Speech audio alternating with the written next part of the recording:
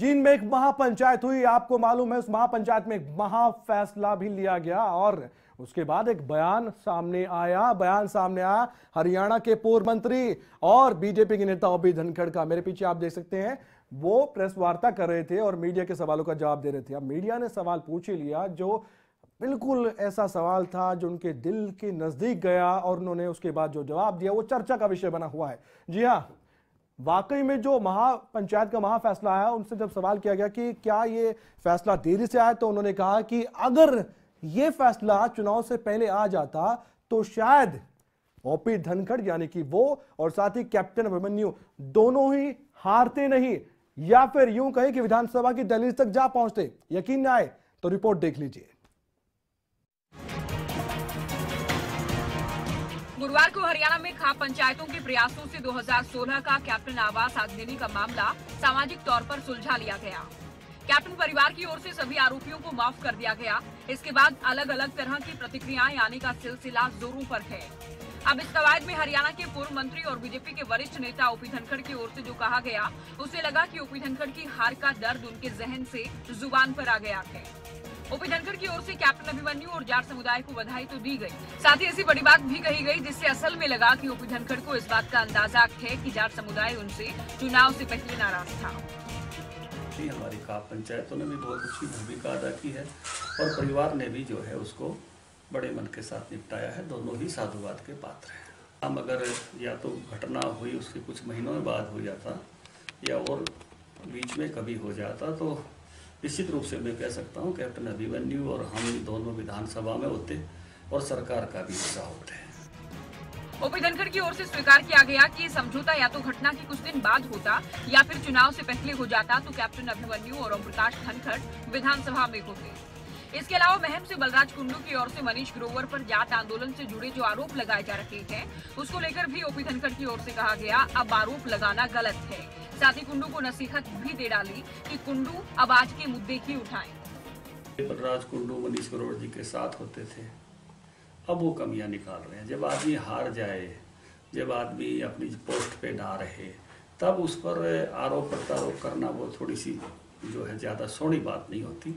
अगर कुछ कुंडो साहब ने करना था तो उस समय करते ठोक। के इस समय वो सरकार में थे वो कुंडो साहब भी जिला परिषद के चेयरमैन वही थे। तो घटनाएँ अगर उस समय की हैं तो उस समय उठाना पड़ता था। ये ऐसी, इस तरह से जब कोई आदमी ना पद पे रहे, तब उसके बारे में, अभी जो कुंडू साहब ने कुछ उठाना है तो आजकल के मुद्दे उठाए। मिलाकर कैप्टन आवास पर आगजनी के मामले के समझौते के बाद जाट आंदोलन मामला फिर से सुर्खियों में है। मामला सामाजिक होने के साथ साथ राजनीतिक भी है। क्योंकि विधानसभा चुनाव में हरियाणा बीजेपी के बड़े जाट नेता हारे, जहाँ नारलोन से कैप्टन को हार का सामना करना पड़ा, ओपी धनखड़ और सुभाष बराला भी अपनी सीट बचाने में नाकाम रहे। अब ऐसे में ओपी धनखड़ का ये कहना कि चुनाव से पहले अगर समझौता हो जाता तो आज विधानसभा में होते। ये साफ़ इशारा करता है कि धनखड़ को इस बात की भनक है कि समुदाय उनसे नाराज़ था। ऐसे में समझौते से पार्टी और बीजेपी के जाट नेताओं के लिए समाज और हरियाणा में क्या राजनीतिक और सामाजिक संदेश जाता है, ये देखने वाली बात होगी। खबरें अभी तक के लिए झज्जर से प्रदीप धनखड़ की रिपोर्ट।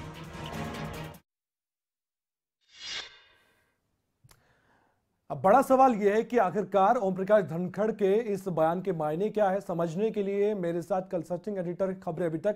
धर्मपाल धनखड़ जी जुड़ चुके हैं, उनसे अब बातचीत हम करेंगे। धनखड़ जी, सबसे पहला बड़ा सवाल दर्शकों के मन में भी ये होगा कि आखिरकार ये जो बयान दिया गया है, क्या इसमें वाकई में ऐसा है कि ये महापंचायत का महाफैसला चुनाव से पहले आ जाता? तो क्या धनखड़ जीत जाते, कैप्टन अभिमन्यु जीत जाते? क्या वोटों पर इसका असर पड़ता? निश्चित रूप से कमल वोटों पर इसका असर पड़ता, क्योंकि जाट समुदाय में न केवल धनखड़ और अभिमन्यु या सुभाष बराड़ा को लेकर नाराज़गी नहीं थी, बल्कि पूरी भारतीय जनता पार्टी को लेकर के एक नाराज़गी दिखाई दे रही थी। क्योंकि जाट आंदोलन के बाद से लगातार जाटों को जो है वो, जाट समुदाय जो है, वो नाराज़ चल रहा था। तो ऐसी स्थिति में उनकी नाराज़गी कुछ कम होती, निश्चित रूप से इस फैसले का थोड़ा बहुत असर ज़रूर पड़ता और जिसका थोड़ा थोड़ा ही सही भाजपा को फ़ायदा मिलता, कैप्टन अभिमन्यु को भी मिलता और धनखड़ को भी मिलता। अब ये तो नहीं कहा जा सकता निश्चित तौर पर कि ये जीत करके विधानसभा ही पहुँच जाते हैं। एक सवाल ये भी है, यानी कि जो जाट वोटर है, उसका बड़ा फैक्टर जो कहा जा रहा था, उस पर खुद ओपी धनखड़ मोहर लगाते नज़र आए। कि हाँ जाट फैक्टर उनके साथ होता और गैर जाट जाट की राजनीति ना होती तो इन नेताओं को सिर्फ़ फ़ायदा होता ज़्यादा। जो ओपी धनखड़ हो गए कैप्टन अभिमन्यु हो गए और जाट वोटर उनके साथ एक तरफा आ जाते तो शायद ये जीत भी जाते विधानसभा पहुँच जाते ये ओपी धनखड़ का भी कहना है। देखिए वो तो पहले पहुँचे भी हैं क्योंकि अ, 2014 के विधानसभा चुनाव में भी और लोकसभा चुनाव में भी प्रदेश के जाट समुदाय ने जो है वो बढ़ चढ़ करके भारतीय जनता पार्टी को वोट दिया था। लेकिन 2019 के लोकसभा चुनाव में बेशक नरेंद्र मोदी को भारी बहुमत से जिताया जी। लेकिन जो 2019 का विधानसभा चुनाव है उसमें जाट समुदाय ने निश्चित रूप से भारतीय जनता पार्टी की जाट समुदाय के जो लोग हैं उनकी नाराज़गी थी ये ओपी धनखड़ संकेत दे रहे हैं अपने बयान से हाँ बिल्कुल संकेत दे रहे हैं और ज़ाहिर सी बात है कि इतन एक बड़ी संख्या में जो है मंत्रियों का हारना सरकार में जो मंत्री थे उनका हारना और खुद पार्टी अध्यक्ष का हारना प्रदेश के पार्टी अध्यक्ष सुभाष बराड़ा का हारना इस बात का संकेत था कि प्रदेश के लोगों में न केवल जाट समुदाय में बल्कि प्रदेश के लोगों में एक नाराज़गी थी। और ये नाराज़गी अगर ये समझौता पहले हो गया होता तो थोड़ी बहुत कम होती। है यानी इस महापंचायत के महाफैसले का प्रभाव चुनाव पर बिल्कुल होता है ये पॉलिटिकल एक्सपर्ट के तौर पर अगर मैं आपसे पूछूँ तो आप क्या कहेंगे? देखिए मैं एक बिल्कुल साफ़ बात ये कहना चाहूँगा कि इसका असर तो ज़रूर होता लेकिन कितना होता ये नहीं कहा जा सकता जी। यानी ओपी धनखड़ जीतते या नहीं जीतते कैप्टन मंजू जीतते या नहीं जीतते ये नहीं कहा जा सकता लेकिन असर ज़रूर हो सकता था आप ये कह रहे हैं।